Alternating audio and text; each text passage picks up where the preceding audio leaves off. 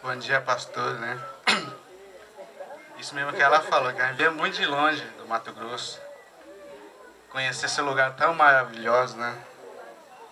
Que a gente vê no TV, é muito famoso, lago. Que a gente podemos respeitar mesmo esse lago, né? Porque o, lago é importante para saúde, para tudo, né? A gente não pode, podemos pensar só no nós, tem que pensar no futuro também das crianças, né? A gente vai apresentar um pouco aqui a música, né? Porque o quatro pessoas não... é muito pouco pra gente, né? Tem que ser um grupo para fazer a festa mesmo, grande, né? Para ficar bonito. Obrigado. Pois é, o, o, grupo não veio porque a gente dessa vez não teve recurso para trazer, mas no próximo evento traremos todo o grupo. Temos muita honra de estar aqui também com Trumac, a Tuia e o que são os índios avacanoeiros. É uma tribo bem conhecida, que hoje restam só seis pessoas ali em Minasul.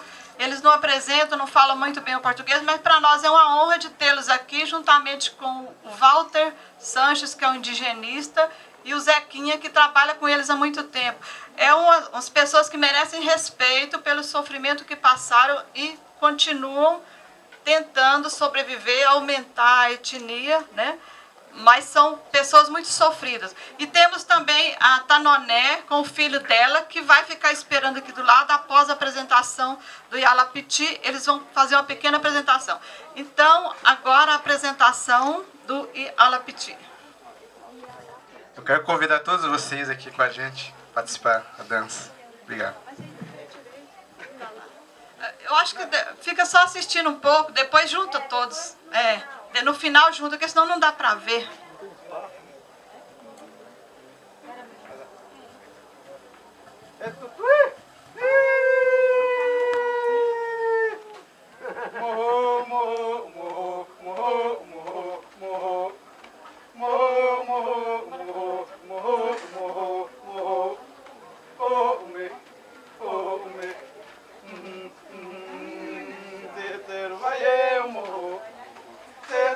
Oh,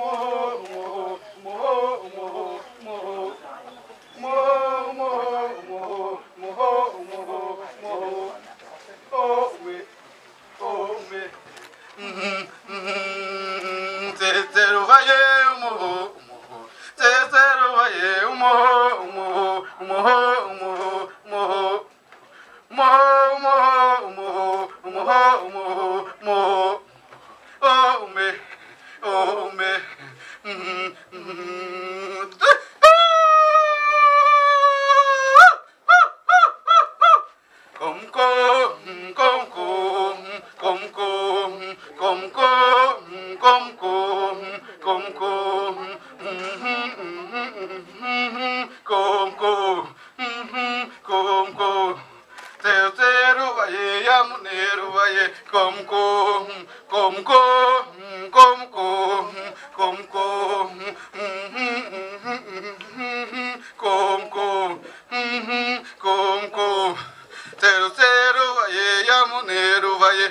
con, con,